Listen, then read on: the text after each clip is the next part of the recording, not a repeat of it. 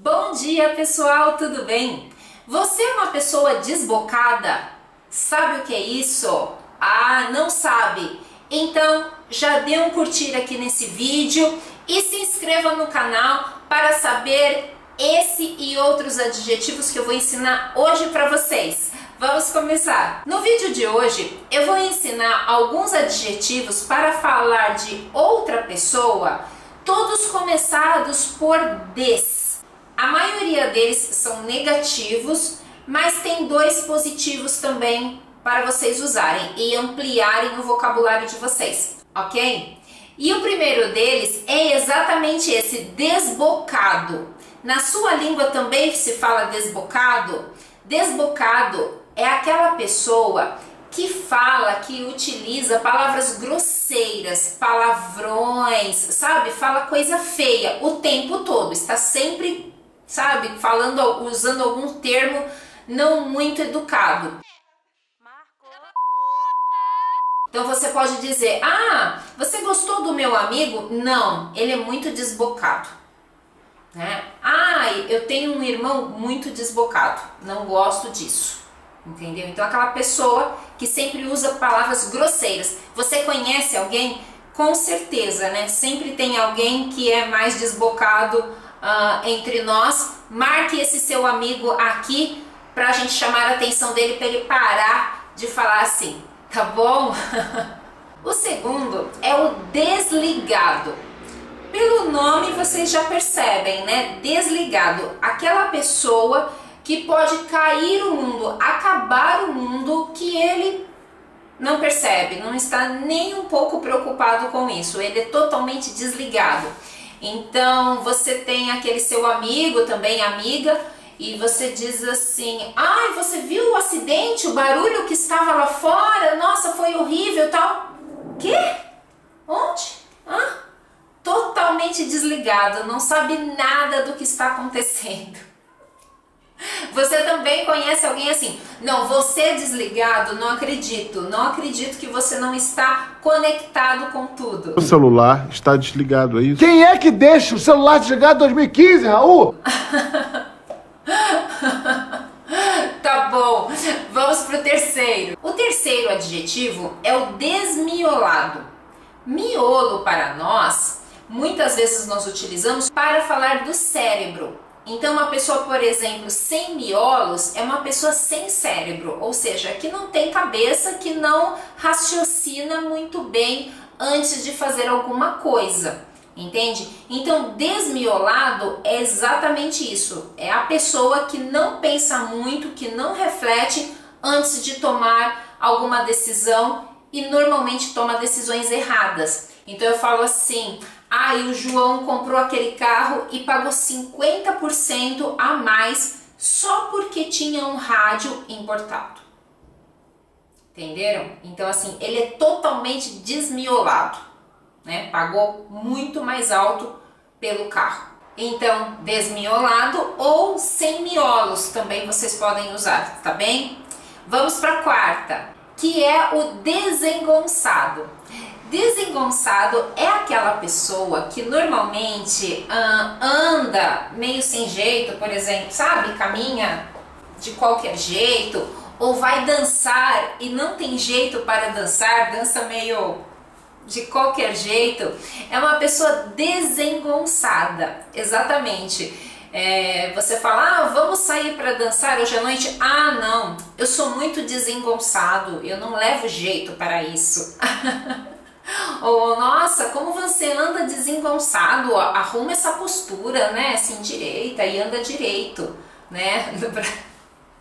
Então é o desengonçado. E depois nós temos, junto nessa linha, que é muito parecido, é o desajeitado. Jeito, vocês sabem, é aquilo que o brasileiro tem muito, né? Muito jeito para as coisas. E o desajeitado, justamente aquela pessoa que não tem jeito para nada. Pode ser também para dançar, pode ser para caminhar, que às vezes caminha sem muito jeito, e pode ser para fazer qualquer coisa.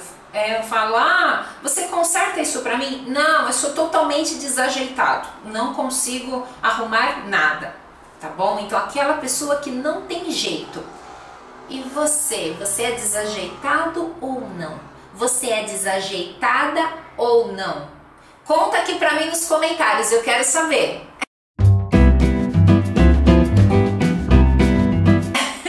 Está bem? Tá bom, tô esperando, hein? Antônio, Antônio Ascenso, ó, tô esperando seu comentário, tá bom? Beijo pra você. E depois nós temos o desnaturado. Desnaturado é aquela pessoa que normalmente não se importa com os sentimentos de alguém, não se importa com os outros. Então a gente fala, nossa, que desnaturado, deixou o filho aí, foi embora, deixou a criança sozinha e foi embora, que desnaturado. Que mãe desnaturada, onde já se viu, deixou o filho subir na mesa, pode, poderia ter caído, né? Que mãe desnaturada. Então nós usamos muito também esse adjetivo pejorativo, tá bom? E depois nós temos o despencado. O despencado é aquela pessoa normalmente que já envelheceu muito e a gente fala que tá meio despencado. Fala, ah, eu já tô meio despencada, né? Já passei dos 40, tô meio despencado. Então, é dessa forma que nós vamos utilizar. Ah, aquela casa, podemos falar até de uma casa. Você gostou da casa? Não, achei ela meio despencada, ou seja, né, não está em boa forma. Você pode utilizar, ah, nossa, preciso fazer atividade física, eu ando meio despencado, eu ando meio despencada. Você está despencada também? Meu Deus do céu, não, precisa se cuidar.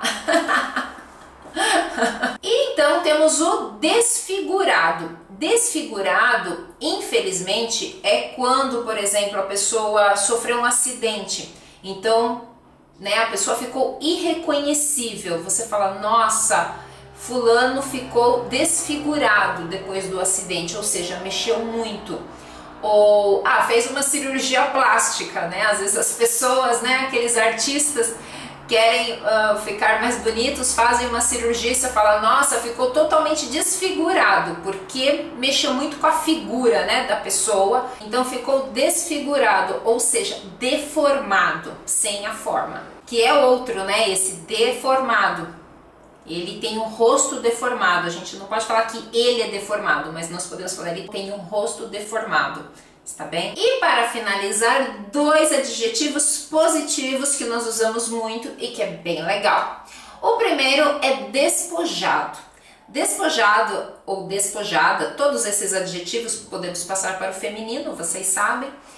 Despojado é aquela pessoa que normalmente usa roupas esportivas, roupas mais casuais, então a gente fala, ah, ele tem um, um, jeito bem despojado, ele anda sempre bem despojado, ou seja, sem muita preocupação com a aparência, não é? Mas uh, de uma maneira positiva, né? Nós assim uh, usamos o despojado de uma maneira positiva. Ah, hoje eu vou sair bem despojada, também podemos falar assim, quando você está relaxada, sem muita preocupação com a aparência, está bem? E para finalizar, um que eu espero que você seja é o descolado ou descolada. O que seria o descolado descolada? Você sabe? Descolado é aquela pessoa que é moderna, que está sempre conectado com as coisas atuais. É uma pessoa que é muito agradável, tem um bom papo, que é muito sociável. Essa é uma pessoa